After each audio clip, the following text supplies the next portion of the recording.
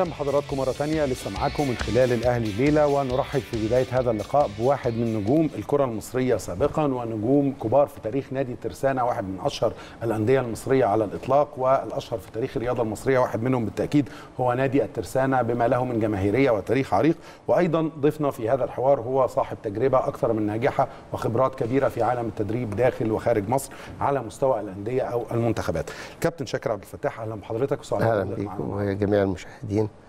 وإن شاء الله ربنا يقدرنا إن إحنا نقدم حاجة الناس. تستفيد منها يعني أكيد إن شاء الله. الله إن شاء الله آه كابتن شاكر آه فنيا ليه خرجنا من البطولة في هذا التوقيت وبهذا الشكل الهزيل طبعا يعني اولا بسم الله الرحمن الرحيم آه كرة القدم آه هي عملة ذات وجهين آه وخصوصا البطولات يا الوصول للنهائي أو الخروج لكن المحزن خروج مبكر آه، كان له تأثير أو هيبقى ليه تأثير شديد قوي في نجاح البطولة اللي الكل يعني آه، كان مبسوط بأن مصر تستضيف البطولة آه، في وقت ضيق مش كبير آه، قوي. آه، كانت هتبقى المفروض إن لو استمرينا كانت هتعود على البلد ب ده آه، كان جزء كبير متوقع من أيوة. نجاح البطولة بفوائد كتير على. آه، البلد حتى لو ما خدتش مصر البطولة في النهاية بس استمرت حتى ال semi final أو ال final آه، لأقصى يعني. آه، زمن ممكن في آه، البطولة آه، طبعا ده للأسف هيبقى ليه تأثير سلبي على البطولة نفسها لأن آه، الجماهير هي ملح المباريات أكيد فطبعا آه، بما كان عند الجماهير المصرية آه، من دافع وطني نمرة واحد إن هم يقفوا مع منتخب مصر من أجل الحصول على البطولة. آه، كل الفئات الشعبية كل المسؤولين الدولة بكل مسؤولينها مسخرين لخدمة البطولة. الشباب الأطفال النساء الشابات فنانين رياضيين آه، كل فئات الشعب كانت على استعداد لأنها تساند بالرغم من إن من البداية الناس كانت بتقول إن الأسعار بتاعه المباريات آه، عالية غالية. الثمن وغالية لكن برضو كانت الناس بتروح والاستاد بيبقى مليان فده طبعا هيبقى ليه تأثير آه، سلبي آه، كبير آه، لكن لو رجعنا لقصة ليه إحنا خرجنا آه، بدري. دي ليها أسباب آه، كتير. زي إيه؟ أسباب فنية وأسباب آه، نفسية ويتحمل المسؤولية. في الحالات اللي زي دي بيبقى نمرة واحد الجهاز المسؤول عن المنتخب. تشكيل المنتخب. آه، اولا يعني شيء غريب جدا. إحنا طبيعة اللاعب المصري لو رجعنا من أيام المرحوم الكابتن جوهري كان دايما معسكراته بتبقى طويلة. ليه؟ لأن عملية الانسجام والفكر اللي مدرب لأن مدرب المنتخب عنده المفروض فكر ورؤية. بناء على الفكرة والرؤية بتاعته بيختار اللعيبة اللي مواصفاتهم تتطابق مع رؤيته. يعني أنا أذكر آه، طبعا بدون داعي لذكر أسماء أحد اللاعبين النجو- النجوم الكبار قوي قوي قوي قوي وهبقى أقوله لك بعد ال- الحلقة إن شاء الله. كانت في ناس بتقترح على كابتن جوهري عايز يعني ياخده. كان هو لسه في بدا- في بداياته. كان هو عنده وجهة نظر معينة. آه، اللاعب ده بطيء شوية. هو كان المواصفات اللي عايزها في اللعيبة اللي عنده يكون بيتميزوا ما حدش هيزعل منك يا كابتن شاكر ان إحنا بنتكلم فن لا، مش- مش- مش زي- ما أنا ذكريات. فانا بتكلم- فأنا همسك في التفصيلة دي عشان أيوة. يبقى المثال واضح للناس ما أنا بقول لك حضرتك بتدي مثال هنقيس عليه اللي آه. حصل في الفترة دي. مين- فكان النجم ده؟ آه يعني أنا متمسك بيه ال- النجم ده كان الكابتن أبو تريكة آه و والكلام ده طبعا أنا مس أنا سمعته من المدربين اللي كانت شغالة معاه فكانوا بيقولوا له في فلان في المكان الفلاني فكان لسه في وقت الترسانه بداية تألقه مع نادي آه. فقال لهم والله هو يعني آه، في عنصر السرعة عنده ما هواش عالي قوي وأنا محتاج لكن هو طبعا كلاعب كورة بيمتلك إمكانيات عالية. إمكانيات عالية وكل حاجة. آه بس أنا عايز اللعيب فيه مواصفات واحد اتنين تلاتة. بعد كده بقى أبو تريكة نجم من النجوم.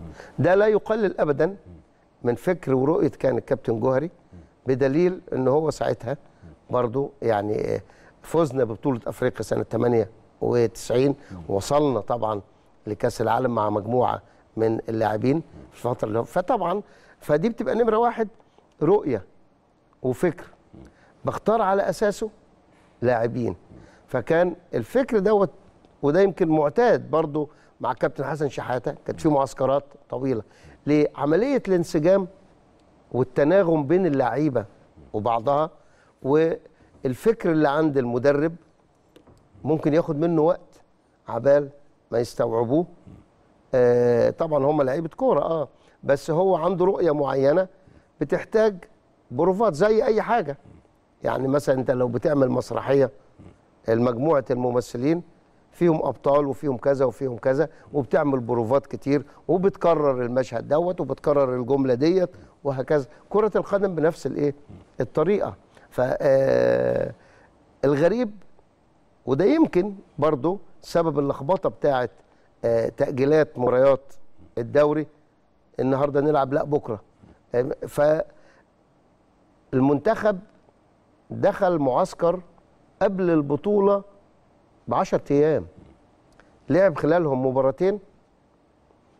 حتى المباراتين كنت بتلعب بمجموعة في شوط وبتلعب مجموعة في شوط تاني. فأنت النهارده كمدرب عندك رؤية عندك تكتيك والتكتيك بتاعك دوت فيه مرونة دفاعية وهجومية. فأنا النهارده هلعب ثلاث مباريات. الثلاث مباريات دايما في ال- الدور الأول آه، بتبقى متدرجة. ده أنت ممكن تخسر ماتش الافتتاح. وده حصل سنة 86 مع آه، مايك سميث الإنجليزي وكان معاه المرحوم الكابتن شحته خسرنا في ماتش الافتتاح. كان تقريبا آه، مع السنغال. أو كوت ديفوار مش فاكر بالظبط يعني خسرنا أول ماتش وخدنا البطولة آه إنت ليه برضو كانوا معسكر ومعسكرات كانت إلى حد ما طويلة عشان المفهوم والفكر والرؤية اللي عندك كجهاز توصل للاعب وبعدين بتاخد. حضرتك بتقول من كلامك ده إن إحنا طول عمرنا مؤشراتنا بتبدأ وبتزيد تدريجيا وبتزيد في الاداء تدريجيا. لاعلى نقطة في, في نهائي أي آه، بطولة في النهائي مش. العكس لا، مش مش- كمان الأداء بيقل من مباراة لأخرى. أيوه. فطبعا شيء غريب إنك أنت. كمعسكر إنك تخش قبل البطولة ب 10 أيام.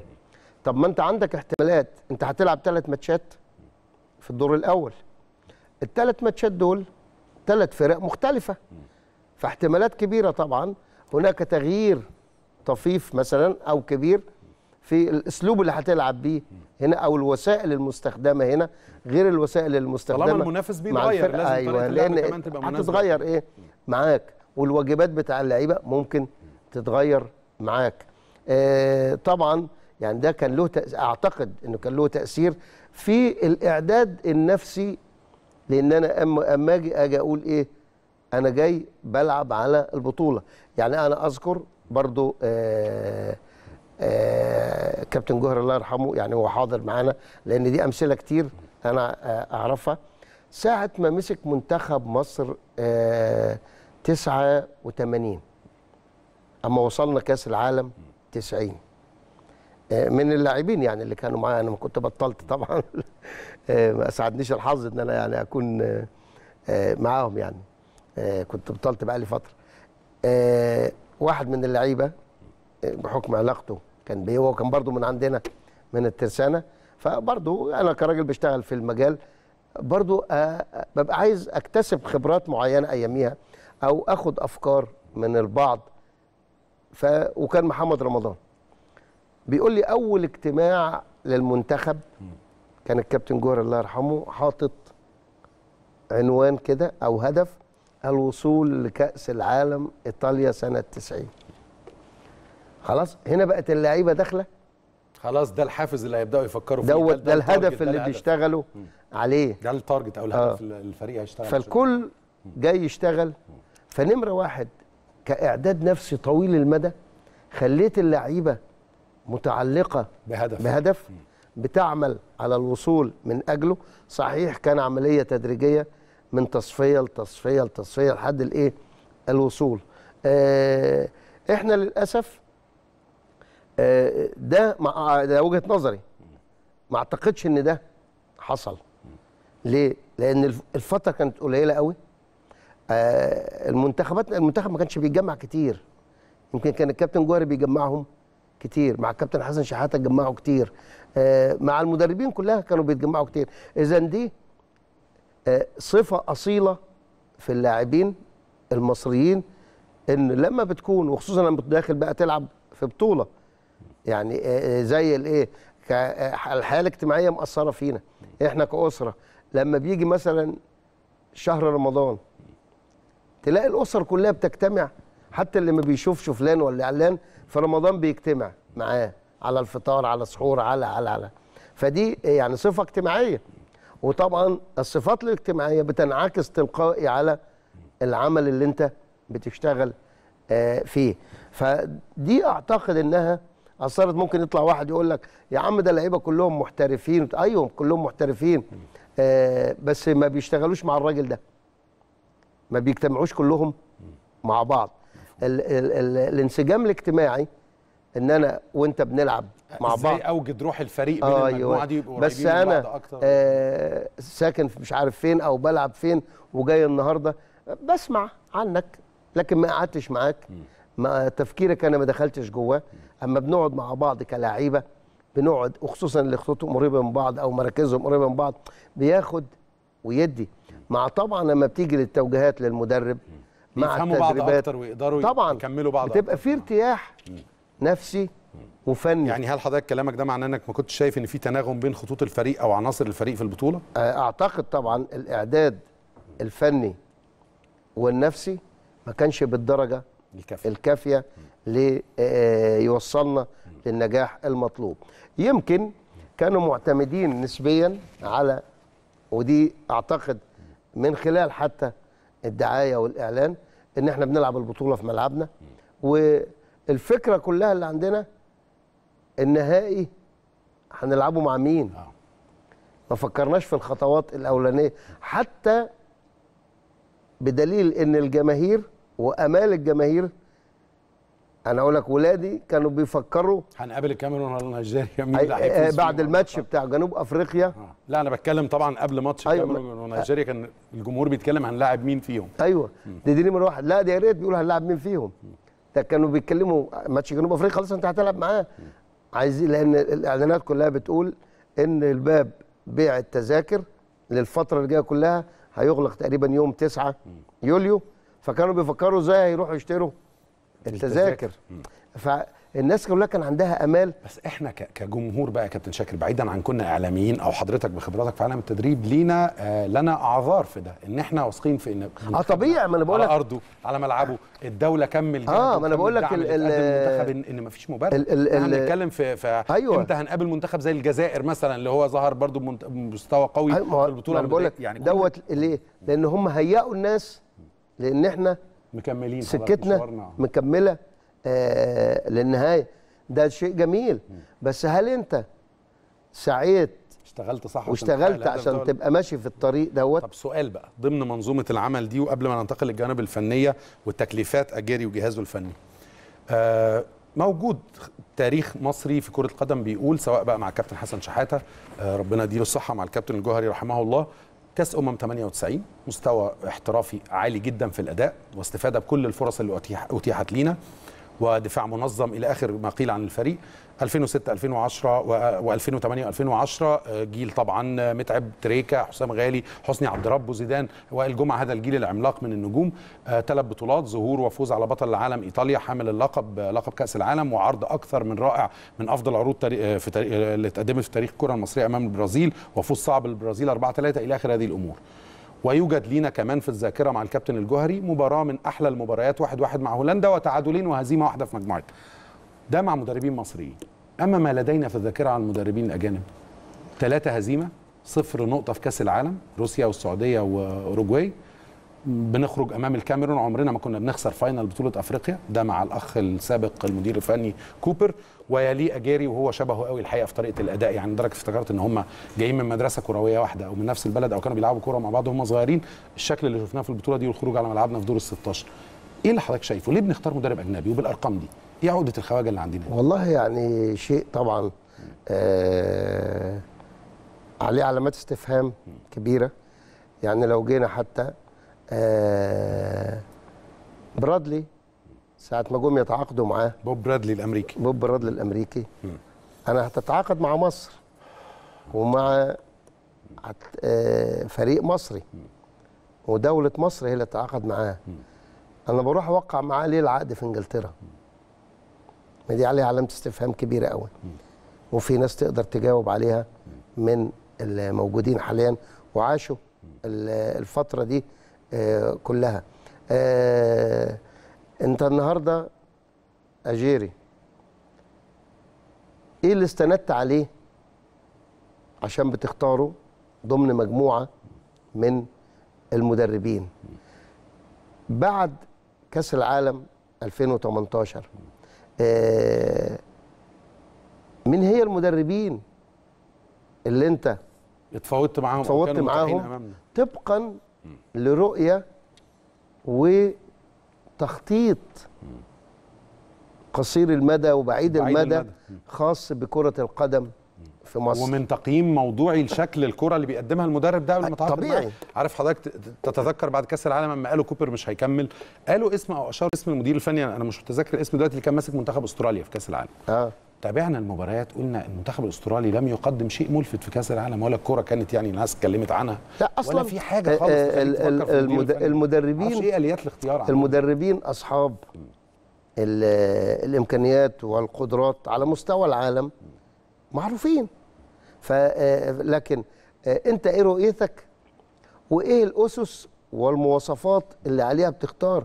وخاصة أنا أما أديله 108 أو 109 ألف يورو في الشهر ده مش مبلغ ده أنا يمكن يمكن بقيت زي زي أثرياء الدول العربية اللي هي بتجيب عندها قدرات أو عندها إمكانيات. يعني زي ما مثلا الإمارات جابت آه، كارلوس قبل كده آه، آه، جابت مدربين ليها أسماء كبيرة بتاخد فلوس. أنت كمان دخلت في الإيه؟ في الشريحة الأعلى الشريحة ماليا. الأعلى. شريحة عالية في المدربين ماليا. ف- وإحنا شايفين حوالينا ناس بتقدم مستويات أفضل وبرواتب أقل. ما ده اللي إحنا بنتكلم فيه. بمدرب مدير فني لمنتخب الجزائر بيتقاضى. تقريبا نصف ما يتقاضى أجيري. الحاجة الثانية آه في واحد في الجهاز كان مدرب كان لعيب كبير. يعني ما سمعناش إنه بيمرن في حتة. سالجادو. ميشيل سالجادو كان لعيب كبير ال back. اليمين بتاع ريال مدريد. أكيد. آه وبعدين بعد كده عرفنا إنه ما بيجيش غير على لو عندك مباراة أو عندك بطولة. بيجي قبليها بأسبوع. يعني هو في مدرب. أنا أعرف إن في دكتور زائر. محاضر مدرب زائر بيشتغل بالقطعه كده لكن مدرب زي يعني مدرب ويمشي. زائر ما يعرفش حاجة عن اللعيبة غير لما آه يجي. وأكيد صوته مسموع مع ال- المدرب. هل ده لمجرد إنه كان سالجادو اسم ال back. الكبير العظيم مع ريال آه مدريد ومع أسبانيا؟ يعني آه مع إن ده مش معيار. يعني اللعيب الكبير ال- ما فيش خالص، أفضل ملهاش- من ما مارادونا. في تاريخ الكورة تجاربه كمدرب أيوه مش أنا بقول لك ملهاش علاقة. يعني. فدي حاجة من ضمن. الحاجات اللي برضو تحط قدامها. علامة علامة استفهام. استفهام طيب آه أنت جايب جهاز ليه؟ التشكيل دوت آه كله. حضرتك ما بتزعلش شخصيا لما تلاقي طول الوقت التصريحات من المسؤولين عن الكورة أو الرياضة في مصر؟ تحديدا كرة القدم واتحاد الكوره يقول لا لا الفترة الجاية ما تناسبش المدرب المصري. يا جماعة ما عندناش في تاريخنا إلا نجاحات مع مدير مدير فني مصر آه طبعاً. أنتوا ليه ده مش حاطينه قدامكم آه طبعا حاجة تشتغلوا عليه؟ طالما إحنا الأجانب ما بيضيفولناش حاجة. حاجة تزعل يعني بصفة عامة سواء حتى على مستوى أنا الأندية. بتكلم على مستوى حتى المنتخبات أنا بقول لك في سواء- بعض النجاحات حصلت سواء على مستوى الأجانب. الأندية أو مستوى المنتخبات. ما هو في انديه في أندية ظروفها وطبيعتها لازم يكون عندها مدرب أجنبي. وحتى المدرب الأجنبي اللي بيبقى موجود بيبقى معاه ناس فنيين مصريين مصريين من النادي. إن ما كانوش مساعدين عمليين معاه في الملعب تبقى على الأقل في لجنة كورة عندها رؤية عملية. مش لجنة كورة صورة. أنا بس مجرد أقول أنا عندي لجنة كورة. لا. نفس القصة إحنا عندنا في اتحاد الكورة. مين اللجنة الفنية؟ اللجنة الفنية دي روح اتحادات الكوره في العالم ان هي اللي كله. بتخطط وبتختار وبتقول الرأي يعني الفني اللي بيؤثر في القرار. ده الاتحاد الدولي بيشكل لجنة فنية لما بيجي يعمل شيء. ليه؟ لأن دي لجنة مهنية. النهارده أنا عايز أعمل حاجة في الهندسة. هجيب لجنة هندسية ولا لجنة طبية؟ هجيب لجنة هندسية, هندسية. دي اللي هي التكنوقراط. دي اللي هي من أيوة. المجال نفسه. لازم الحاجة العملية. الناس اللي هتشتغل. آه دي برضو ناقصة في الأندية كلها في مصر. يمكن حتى النادي الأهلي الفترة اللي فاتت ما كانتش موجودة. آه كانت موجودة وبعدين حصل حاجة. بعد كده عملوا لجنة فنية للتخطيط كمان وللشغل داخل النادي الأهلي. طبعا بقيادة أستاذنا الكبير كابتن آه طه إسماعيل. وطبعا جميع الإخوة الزملاء اللي معاه عند حضرتك تفسير لده فكرة ان طول الوقت لازم مدير فني المنتخب أجنبي أجنبي أجنبي؟ ب... وناخد كل درس وناخد كل مقلب في مدير فني ورا التاني ليس فنيا على المستوى. يعني كابتن الجوهري الله يرحمه كابتن حسن شحاتة أعتقد إنهم بلغة كرة القدم يحضروا يدوا دروس في كرة آه القدم. ل... ل... لبعض آه، الناس أولاً اللي شفناها في الفترة ال- اللي فاتت يعني. وقيمة مالية ضخمة قوي كأني متعاقد مع خبير هيعمل طفرة وتطوير. ما فيش ما هي, بنتعلمش هي أخطاء. القصة أحيانا أحيانا وده طبعا مش عذر. إن يقول لك إيه أنا هبعد عن اختيار مدرب آه مواطن مصري عشان حساسية الحساسية وده كلام. اللي جبت طبعا بقول لك ده مش عذر ابدا. أنت ما ده عشان كده بنقول إيه دايما شوف نسبة نجاحاتك مع مين. اذا دي الشخصية الملائمة. نفس القصة بتبقى موجودة في الأندية. ممكن تروح تجيب مدرب كويس وكبير قوي لكن إحساسه و آه، يعني آه، فكرته عن المكان تك- تكاد تكون صفر. وبالتالي بيبقى غصب عنه لما يحصل إخفاق. لكن برضه بتلاقي المسؤولين بيحاولوا يجيبوا شكل اسم لمجرد إنه إيه إن نوع أنا من الدعاية إن ده يعني أو نوع من الدعاية أو نوع من إن أنا إيه بعدت عن كذا أو بعدت عن كذا. أنت أهم حاجة عندك أنت رؤيتك إيه؟ وتجيب الشخص المناسب. لتنفيذ الرؤية. لإيه للعمل على تحقيق الأهداف من خلال الرؤية اللي أنت بتتكلم ده, ده فيها الكلام بقى اللي لو بنطبق اللي حضرتك قلته ده كلام مهم جدا طبعا. لو بنعرف نحط استراتيجية كروية فنية حقيقية عشان أكيد. أجيب حد يشتغل على البروجرام ده اللي معمول أه. ولا أنا بجيب مدرب وأشوف هو عايز يعمل إيه إيه اللي في دماغه يعني يحب يعمل إيه لا هي القصة كلها يعني آه ما تعرفش إيه هي الأسس اللي بناء عليها يختاروا المدرب. طيب في حاجة تانية اتقالت برضو عايز حضرتك تعلق عليها في الكلام ده يعني هنكمل رؤية حضرتك للمدرب والجهاز الفني وقدراته وأدائنا خلال البطولة دي. من الناحية الفنية قبل البطولة وتوقفنا عن الكلام جاء وقت كان الشارع المصري كله المشجعين المصريين اللي دعموا هذا المنتخب بلا حدود وكانوا يتمنوا يدعموه لآخر يوم في البطولة. وما زلنا نقول الكل كان يتمنى فوز منتخب مصر ونجاحه مش أي إخفاق ومحدش يمكن أن يسعد بإخفاق منتخب بلده إلا لو كان مريض. لكن الكل بيقف على أسباب الفشل عشان ما تتكررش. وبيقول لابد من مراجعة حقيقية لأسباب الفشل خصوصا لو تكرر وتكررت نفس الأخطاء في الاختيارات أو في المجاملات والحاجات اللي سببت المهزلة اللي شفناها دي. آه كابتن شاكر ناس قالت إن في لعيبة كتير كانت أحق بالانضمام للمنتخب وإنهم كانوا هيعملوا لنا بلغه كرة القدم دكة تقيلة مميزة. ممكن لو تعثرنا في أي ماتش المدرب يلاقي حد يسنده بره. الجهاز الفني أصر وجينا في وقت قلنا خلاص نتوقف بقى عن النقد وعن الاختلاف مع المنتخب. آه الآن وقت دعم المنتخب وهنبتدي البطولة. حضرتك مع الآراء دي ولا لا؟ اللي كانت بتقول فيها أسماء كتيرة ممكن حضرتك تستعرض بعض الأسماء اللي كنت تتمنى هو آه. طبعا الاختيار هو بيبقى وجهات نظر الأول. بس في حاجة قبل وجهات النظر يمكن أنا اتكلمت عليها في الأول لأن أنا عارف إن إحنا هنيجي للنقطة دي. للنقطة دي. رؤية المدير الفني أما نفسه. قلت إن الكابتن جوهري الله يرحمه كانت عنده رؤية وحط مواصفات لمين اللي يقدر يطبق اللي هو عايز الرؤية دي اللي هو عايزها. آه وبناء عليها بيختار النوعية اللي هو عايزها. إحنا للأسف الشديد ما عرفناش وده مش عيب. لما أنا كمدير فني بقول أنا محتاج مواصفات اللعيبة اللي تبقى معايا يكون عنصر اللياقة البدنية يكون عالي. المهارة ده شيء طبيعي لأنه لاعب كرة قدم. آه بس المهارات ما هي بتختلف. آه في مثلا كان بندي مثال بسيط بطولة وبتلعبها في مصر. الفرق اللي هتلعبك كلها بشكل عام هتلاقيها بتدافع بشكل قوي. يبقى أنا محتاج للعيبة ذو مهارات عالية وخاصة في المحاورة. يبقى أنا محتاج للاعب بدنيا عالية وخاصة إنك بتلاعب لاعبين القارة الأفريقية كلهم بيتميزوا بالقوة وبالسرعة وبالجسم القوي. بالإضافة لأن كمان الناحية المهريه والتكتيكية ارتفعت بشكل كبير عن قبل كده. فأنا المفروض بحط مواصفات للاعبين اللي أنا هيشتغلوا معايا وينفذوا لي الرؤية الفنية. الرؤية الفنية بتاعتي. إحنا ما عرفناش هي إيه المقاييس الأول. لأن إحنا أصلا من الأول ما عرفناش هي إيه المقاييس هي اللي جابوا الفنية اللي عايزين آه نطبقها. آه، اللي إحنا عايزين آه نطبقها. آه واضح إن هو يعني عنده فكرة أو بيعتقد في حاجة معينة إن اللاعب اللي بيلعب بره محترف في أوروبا هو بالنسبة لي ده جاهز 100% فأنا هستخدمه وخلاص. مكنه وهدوس على الزرار. كوبر قبله كان بيفكر كده. أيوه وهدوس على الزرار وخلاص.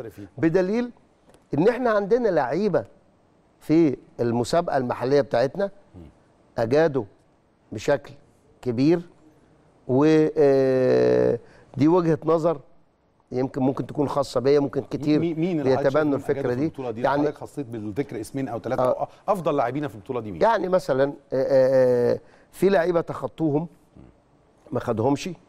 آه، ما أنا برضو قلت لك الأول لازم رؤيته. هل هو يا ترى رؤيته؟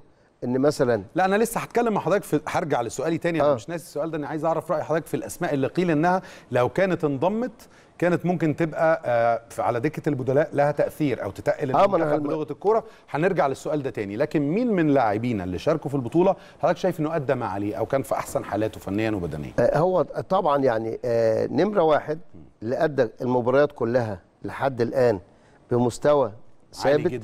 وأدى واجباته في حدود المتاح ليه واجبات المركز اللي بيلعب فيه هم يمكن يعتبروا اتنين. طارق حامد في وسط الملعب كراجل بيلعب لاعب وسط مدافع. مهمته استخلاص الكورة وبعدين تمريرها للإيه؟ للزميل الهجمة أو لل... في آه، بجودة عالية. فاخطائه كانت قليلة جدا. قليلة جدا. نمرة اتنين طبعا كان الشناوي. آه يعني الأربع مباريات لعبهم بمستوى آه أكتر من آه جيد جدا. آه حتى المباراة الأخيرة مباراة الخروج دي الناس راضية جدا عن أداء طبعاً الشناوي شايف يعني- انه تالق فيه ده منع أكتر من هدف يعني إحنا يعني. الشناوي اختبر. حارس جنوب أفريقيا ما اختبرش. خالص. فيمكن طارق حامد الشناوي. والشناوي دول أكتر اتنين أدوا واجباتهم. طب ده ينقلني لسؤال مهم قد يكون سؤال محرج شوية بس لازم أسأله لحضرتك. أفضل ثلاث نجوم في البطولة دي بالمعايير التسويقية والشهرة والنجومية والتصنيف عالميا دلوقتي محمد صلاح من مصر، ساديو ماني من السنغال، آه رياض محرز رياض من الجزائر. محرز من الجزائر ما زال منتخب الجزائر مع نجمه رياض محرز مستمر في السباق ما زال والسنغال منتخب معاهم. السنغال مع نجمه ساديو ماني لماذا خرجنا ونحن نمتلك واحد من أفضل النجوم في العالم حاليا بإجماع الآراء هل إحنا والجزائر متقدمة دلوقتي 1-0 كمان لسه زملائي بيبلغوني من ال control. هل إحنا لم نوظف محمد صلاح ولم نصنع له الفرص أو لم نكمل أداؤه كما يجب المحيطين به وزملائه في ليفربول ولا هو نفسه ما كانش في أحسن حالاته ولا هو جاي مجهد بعد موسم شاق جدا؟ في ناس كتير بتقول هل لم يقدم صلاح ما هو مرجو منه وما يليق بحجم موهبته ونجوميته اللي كانت بتخلينا نقول إن هذا اللاعب يمكن كسوبر ستار لمنتخب مصر وواحد أصبح من superstars العالم كله إنه يرجح كفتنا في عدد من اللقاءات حتى بشغل فردي أحيانا. ده بيعمله أكتر من نجم بمقاييس محمد صلاح ولا هو ظلم لأنه لم يجد حواليه البيئة بمقاييس الكورة والفنيات في الملعب اللي تصنع له أو تساعده على صناعة الأهداف وإحراز الأهداف. هو. طبعا يعني آه، كرة القدم إمكانيات فردية وجماعية. مهما كانت قدرات محمد صلاح فهو محتاج للتعاون أو تقديم المعاونة. والفكر والنوعية اللي بيلعب جنبها محمد صلاح في ليفربول أكيد بتختلف عن الفكر اللي هو بيلعب من خلاله. هو ده كان عبء على صلاح. ليه؟ لأن آه، بقت الفكرة كلها وأنت مغمض تكلم احد يقول لك إيه؟ ده إحنا معانا صلاح. فالناس بتفكر إن هو لوحده ده البطل بقى. كل حاجة. فاحنا إيه؟ لو رمينا له الكورة هو هيتصرف. هو هيتصرف. برضو دي ناحية نفسية. أثرت في بعض أو في كتير من اللاعبين. في لعيبة كانت في الملعب بتدور على صلاح عايز تديله الكورة وخلاص. هل هو في موقف صعب أو مش في موقف صعب؟ ودي من الحاجات اللي أنا استغربت ليها امبارح برضو إن آه واضح قوي فرقة جنوب أفريقيا يمكن أحسن فرقة قدرت تلعب قدام صلاح. آه حضرتك تقصد تحجم من تأثيره في يعني الراجل. الظهير الأيسر عندهم رقم 18 ومن أحسن اللاعبين. آه حتى لما كان بيطلع وبيبقى صلاح فاضي واضح إن كانت في تعليمات بإن المدافع الوسط في واحد بيلعب man to man طول الوقت. بسرعة يروح رايح. مايل في ظهر المدافع الأيسر ده. عشان لو يعني. راحت لصلاح يبقى في لعيب بيقابله عبال الراجل ما يغطي المركز آه، بتاعه. طبعا دي كلها بقت عبء آه، كبير على صلاح. آه، مش هيقدر يديك بالشكل اللي اللي انت الناس متوقعة إنه يقدر. يحسم كل الأمور الحاجة. الثانية يعني امبارح انت كمدرب قاعد شفت إن النجم بتاعك أو أفضل اللاعبين عندك أو اللي بتعتمد عليه بشكل كبير مضيق عليه المساحات وبيلعب عليه لعيبة عارفين إن ده. مصدر الخطورة هنا. أنت ما فكرتش ليه زي ما بيحصل؟ على الأقل غش. يعني يورجن كلوب بيفكر إزاي لما يبقى صلاح كتير متراقب كويس بيبقى في صلاح. في حاجة ساعات بيروح مدخله يلعبه جوه. ينقله شوية ناحية الشمال.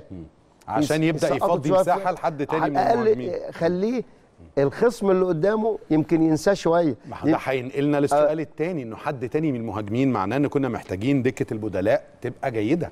يبقى في أوراق بره زي كهربا ورمضان صبحي ومجموعة من اللاعبين صالح جمعة مجموعة من اللاعبين اللي عندهم حلول اللي تقدر تنزل. ولما يبقى في رقابة مزدوجة على صلاح أو على تريزيجيه بتدي فرص للاعب تاني عنده إمكانيات حقيقية في الهجوم إنه يخلص. ما هي دي هدف. دي النقطة اللي مش متوفرة عندنا من اللاعبين اللي بيجوا من الخلف للأمام اللي هم لعيبة وسط الملعب بالذات. لعيبة وسط الملعب بالذات أنت بتلعب باتنين مدافعين وسط آه طارق حامد ومحمد النني. مع احترامي طبعا لمحمد النني كلاعب. السنة دي كلها ما بيلعبش في الأرسنال. في أرسنال. فأثرت في آه، مستواه النني من النوع اللي برضه يجيد استخلاص الكورة يجيد تمريرها زيه زي طارق حامد.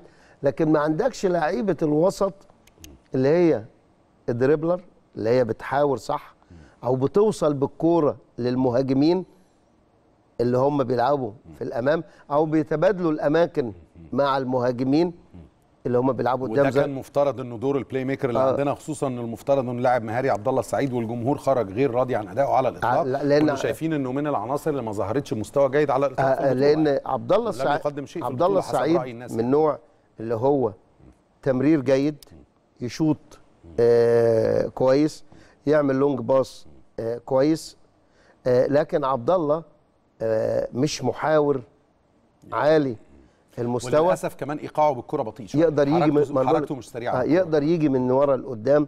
فطبعا دايما اللاعب في كرة القدم الحديثة اللي بيقدر يحاور لاعب واثنين فبيحرر المهاجم من الرقابة. بتضطر تيجي تقابله آه هو. دي نقط فنية يمكن ما كانتش متوفرة عندنا. يمكن هي في تريزيجيه. برضه اما تريزيجيه يلعب الأربع مباريات ورا بعض ومفيش مساندة من نفس من الناحية الإيه؟ الشمال من الناحيه هجومياً الشمال العي... من نفس العينة. البدني عليه كبير فما. تقدرش يعني انت امبارح آه، المباراة بدأت بدأوا كويس امبارح. يعني الحق اتقال. ليه؟ كانت الخطوط الثلاثه بتاعتنا كلها على طول في نص الملعب بتاع جنوب أفريقيا. بس جنوب أفريقيا الاخرين واقفين صح 100% وبعدين عندهم شيء مهم جدا بيعملوه بقى. الناحية الدفاعية عندهم برؤية جيدة. الشق الهجومي بيعملوه بدون توتر بدون خوف بحيث إن هم يروحوا ماسكين الكورة مش هيش إيه مش طيب، هيشتت هرجع لحضرتك نسمع رؤيتك كابتن شاكر لكن كمان هيشارك معنا هاتفيا آه، واحد من كبار نجوم كرة القدم في تاريخ مصر والنادي الأهلي والمدير الفني لمنتخب مصر للشباب كابتن ربيع ياسين. مساء الخير يا كابتن ربيع. يا أستاذ محمد ازي حضرتك. أهلا بحضرتك وسعداء بمشاركتك معانا ومعانا في الاستوديو ضيفنا الكابتن شاكر عبد الفتاح. يا كابتن شاكر كابتن كبير ومدرب كبير. ازيك يا كابتن ربيع؟ ازيك يا كابتن ازي حضرتك؟ عامل إيه يا كابتن؟ الحمد لله بخير ربنا يخليك. كله كويس؟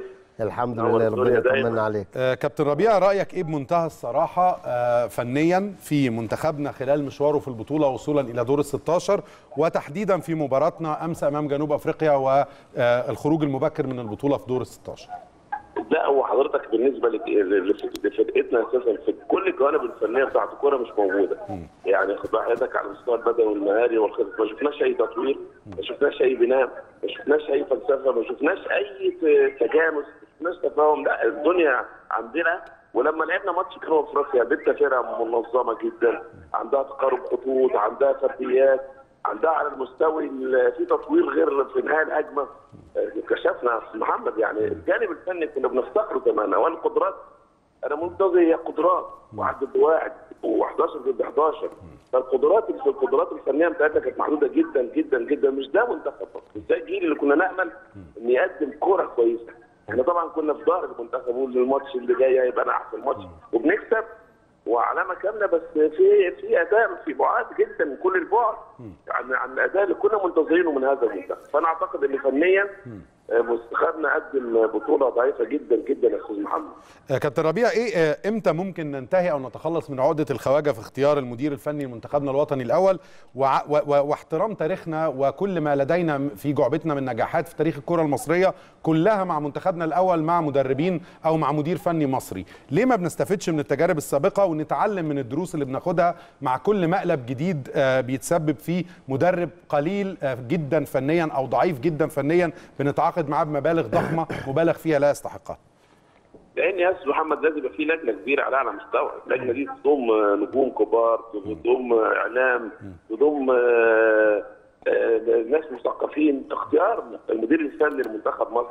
ما ينفعش يا أستاذ محمد يا كابتن إن واحد بس هو اللي يقول ناخده لا. إحنا في أفريقيا اللاعب المصري له مواصفات محتاج مدرب معين. المواصفات اللي إحنا عاوزينها وتنجح معانا زي ما نجح في الأهلي ونجح في الزمالك في مدربين مش أي حد يجي مصر ينجح معانا. مش أي حد ينجح مع مع ال- آه، الماتشات الأفريقية أو أو أفريقيا عموما. فإحنا محتاجين لجنة كبيرة. على أعلى مستوى تختار. بدقة وبعناية فائقه آه، مدرب المدرب ما ينفعش واحد ياخد قرار في مدرب خالص يا كابتن محمد. يعني دي أقل حاجة إنك عندك نجوم كبار ما شاء الله عندك عندك ناس تختار. لأن المدربين الكبار موجودين وأفريقيا مليانة ما شاء الله. فبعنايه فائقه غير عادية. يعني هل حضرتك بتتفق مع كابتن شاكر عبد الفتاح إنه قال في أمر مهم جدا في إصلاح أمور الكره في مصر؟ إنه نبدأ بإن يكون في لجنة فنية مميزة أو لجنة حقيقية. كلامها بيعتد بيه وملزم في الجوانب الفنية لمجلس إدارة الاتحاد كله. يا أستاذ محمد ده إحنا الكابتن صالح سيب الله يرحمه المايسترو اللي هو المايسترو كان عامل لجنة فنية ما كان ممكن لجنة صالح سليم لكن صح لجنة فنية على مستوى لجنة فنية تضم أسماء كبيرة جدا شخصيات عظيمة. ما تخافش إنه الحمد لله عندها الجرأة تاخد قرار للصالح العام.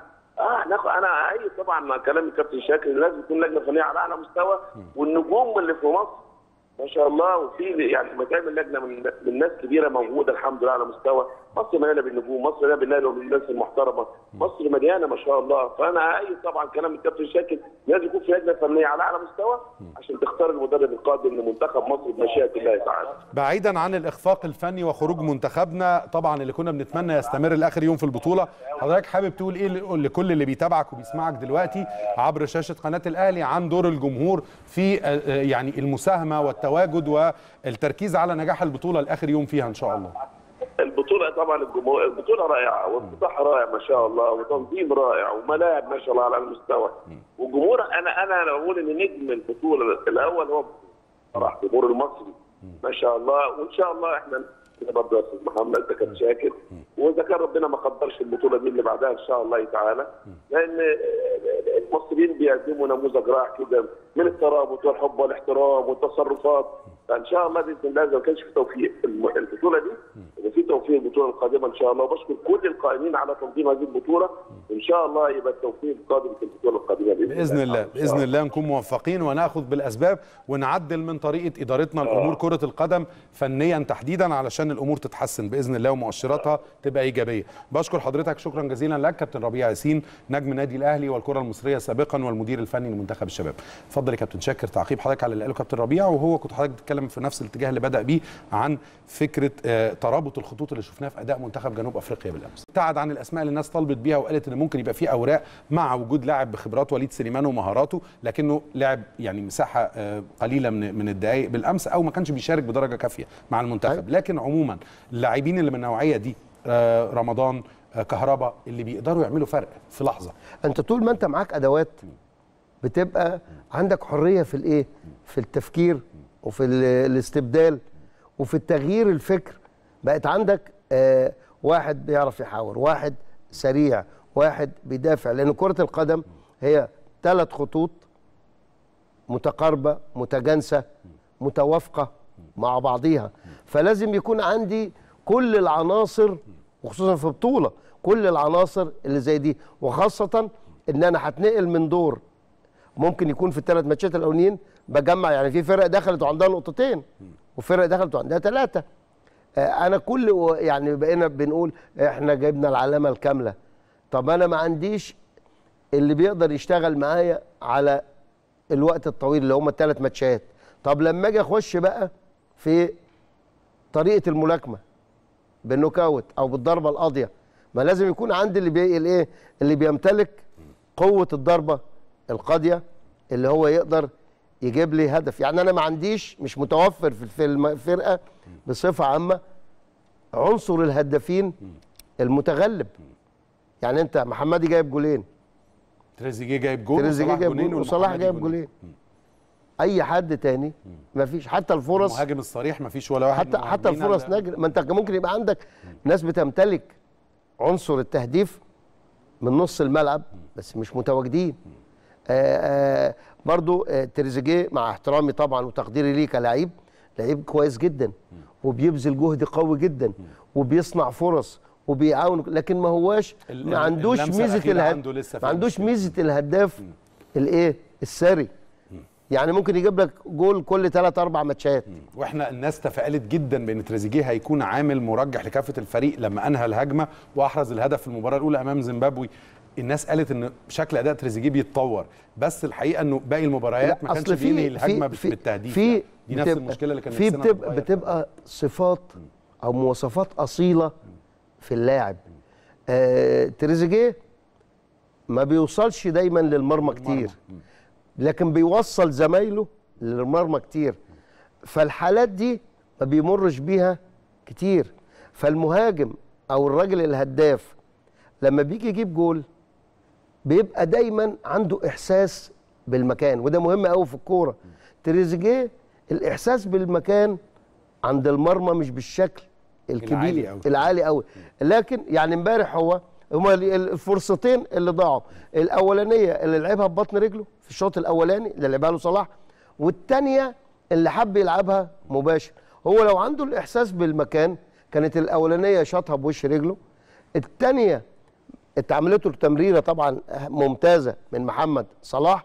هو لو عنده الإحساس بالمكان والرؤيه في المكان كان عرف إن هو بقى منفرد يبقى كان ضمن الكورة الأول بدل ما كان يلعبها مباشرة. من غير ما يبص آه. على المرمى. آه لكن هو طبعا بيأدي أداء كبير آه طبعاً، ومفيد. اللاعبين اللي بذلوا مجهود في البطولة بس طبعاً. الشارع. آه، آه، التجميعة بقى في الآخر مين مع مين مين هيلعب لمين هي دي الإيه؟ طيب. اللي افتقدناها أخيرا حضرتك حابب تقول إيه للجمهور عن البطولة؟ عندنا لسه الحدث مستمر وده جزء مهم جدا لابد من التركيز عليه بعيدا عن حساباتنا الفنية وقضية المراجعة لاتحاد الكرة ومتابعة ما حدث وتسبب في هذا الخروج غير ال- المرضي بل والمهين. حضرتك تقول إيه عن البطولة واسهمنا جميعا في يعني كيفية المساهمة من الكل في أن تنجح البطولة ويستمر ال- الإقبال عليها ومتابعتها لآخر يوم؟ طبعا يعني نتمنى نمرة واحد آه، يكتمل العمل الممتاز من بداية من الافتتاح التنظيم آه، مجموعات العمل سواء الناس اللي كانت بتستقبل الفرق اللي بتقوم على رعايتهم في التدريبات آه، في الفنادق آه، التنظيم بتاع الوقت بتاعهم كتدريب كمباراة. طبعا دي كلها الحمد لله ماشية زي ما هي. نتمنى إن برضو الجماهير إنها تروح تحضر آه، المباريات عشان آه، تنتهي فعلا البطولة بالشكل اللي آه، بدأت بيه رغم إن إحنا طبعا أصبحنا خارج المنافسة لكن دوت يؤكد إن الشعب المصري شعب بيحب كرة القدم بيستمتع بكرة القدم. صحيح كنا نتمنى إن فرقتنا هي اللي تكون في الصدارة آه، لكن لينا أشقاء عرب موجودين إن إحنا نؤازرهم زي الجزائر زي آه، تونس. آه، في برضو أشقاء أو أصدقاء أفارقة. آه، لابد إن إحنا برضو آه، في ناس تسند وفي ناس أكيد بتحب الفرقة دي أو بتحب الفرقة دي. يستمتعوا بقى الجمهور ويساعد بقى البطولة الإيه؟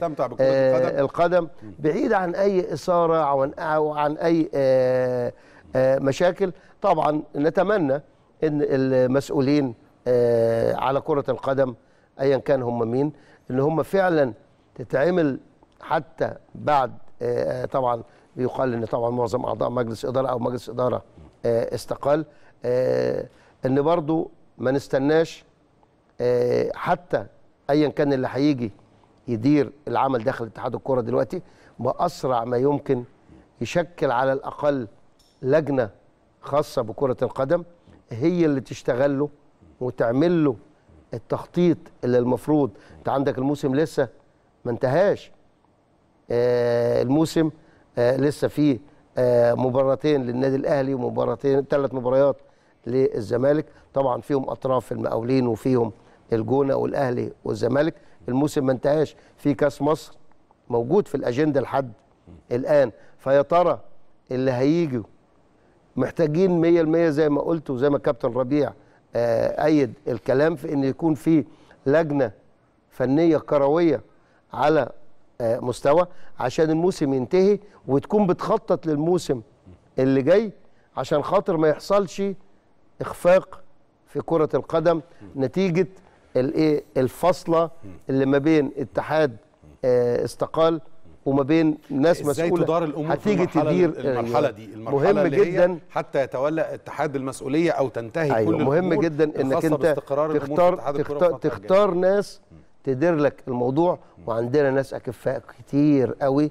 آه نذكر منهم طبعا على سبيل المثال ربنا يديله الصحة آه عقلية مفكرة كروية كبيرة سواء كان لاعب أو آه مدرب أو محلل. كابتن طه إسماعيل فلازم دلوقتي الظروف دي بتجبرني إن أنا لازم يبقى في تخطيط فني إن الناس. فعلا دي هي اللي تدير أو تخطط لكرة القدم الله. وملهاش أي أغراض آه، الله. نبقى شخصية. موفقين وحتى نعتمد شوية على الخبرات المصرية أو نشوف الأنسب في الفترة الجاية ونتخلص من عقدة الخواجة وفكرة إن إحنا نروح نجيب مدرب ب 100 ولا 120 ولا 90 ألف دولار أو يورو وفي النهاية يطلع إنه ملوش علاقة بكرة القدم وإنه أشبه بأن يكون أو أقرب لأن يكون مدرب في أي لعبة ثانية ممكن يكون مدرب كرة مية مش كرة قدم وبندفع له فلوس لا بيلاقيها قبلنا ولا بعدنا في أي مكان تاني في العالم.